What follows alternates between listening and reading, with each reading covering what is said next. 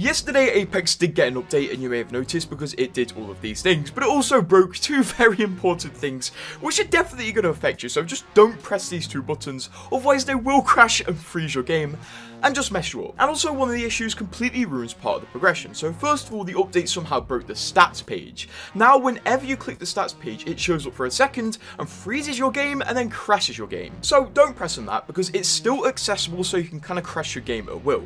But one thing that's no longer accessible is the weapon mastery system, because this was also crashing people's games. And for this, Respawn did actually take an approach at fixing it, which unfortunately removed some elements of the game, because they completely removed the mastery tab from the game so you can no longer see it. And now when you play a game and get some weapon XP, it doesn't count anymore. So don't bother grinding for weapon XP or weapon mastery because it's currently unavailable and we don't know when it will come back up. Respawn have talked about this on Twitter, but there's no update inside currently, so don't do these two things. Have you noticed these? and subscribe if you like Mastery.